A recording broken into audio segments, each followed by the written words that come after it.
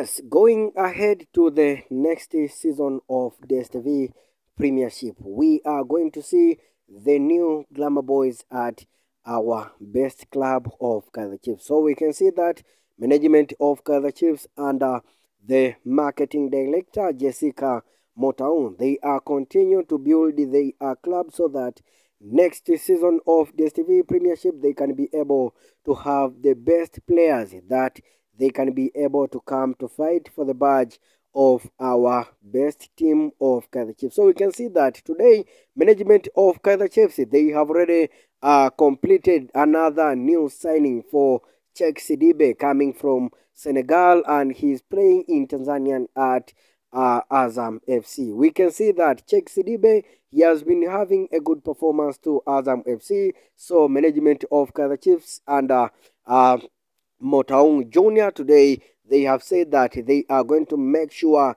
they sign the good and the quality players that they will be able to come to fight for the badge of Kaizer Chiefs in the next season of DSTV Premiership. This is going to be an amazing news to the fans and the supporters of Kaizer Chiefs because they need to see what uh, the team is going to get in the next season of DSTV Premiership because in this DSTV Premiership, Kaizer Chiefs, they did not perform well. So going ahead to the next season, we are going to expect to have the good and the quality players. So Cheick Sidibe, he is now a new glamour boy at Kaizer Chiefs. So you as a fan, you can be able to give us your opinion under the section of the comment below and tell us what is your opinion and what is your comment concerning the old news and the updates that we are sharing each and every day concerning our best club of Kaizer Chiefs because we know that management of Kaizer Chiefs, if